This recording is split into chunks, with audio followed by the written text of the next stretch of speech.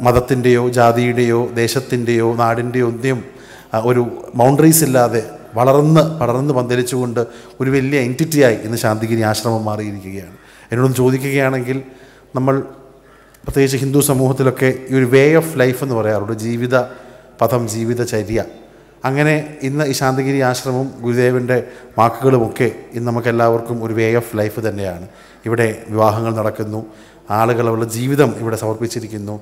ഒരു കുടുംബം എന്ന രീതിയിൽ ഇവിടെയുള്ള എല്ലാ തരത്തിലുമുള്ള ഒരു ത്രീ സിക്സ്റ്റി ഡിഗ്രി ഞാൻ എപ്പോഴും പറയാറുണ്ട് വളരെ ത്രീ സിക്സ്റ്റി ഡിഗ്രി ആയിട്ടുള്ള ചെറിയ കാര്യങ്ങൾ മുതൽക്കുള്ള വലിയ വിദ്യാഭ്യാസമടക്കമുള്ള വലിയ പ്രവർത്തനങ്ങളും ഒക്കെ ശാന്തിഗിരി ആശ്രമം നടത്തുന്നുണ്ട്. അതിനെല്ലാം നമുക്ക് തുടക്കക്കാരനായത് അതിനുള്ള മാർഗനിർദ്ദേശം നൽകിയ പ്രിയങ്കരനായിട്ടുള്ള കരുണാകരന ഗുരുവിന്റെ തൊണ്ണൂറ്റെട്ടാമത് ജന്മദിനം. നമുക്ക് ഓരോ ആളുകൾക്കും കൂടുതൽ കാര്യങ്ങൾ ഈ പറഞ്ഞ അദ്ദേഹം തുടങ്ങി വെച്ച ആ ഒരു ചര്യ അതിനെ കൂടുതൽ ശക്തമായി മുന്നോട്ട് കൊണ്ടുപോയി ഈ നാടിനും ലോകത്തിനും ഗുണമുണ്ടാകുന്ന രീതിയിൽ നമ്മളെക്കൊണ്ട് മുന്നോട്ട് പോകാൻ കഴിയട്ടെ.